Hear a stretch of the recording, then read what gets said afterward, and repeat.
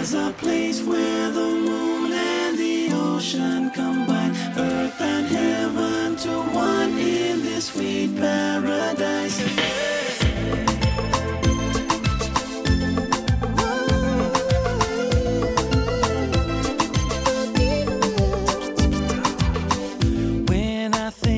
the true Melanesian paradise. A sweet and beautiful community comes to my mind. I'm overcome with happiness and flooded by these childhood memories. The spirit of the Nile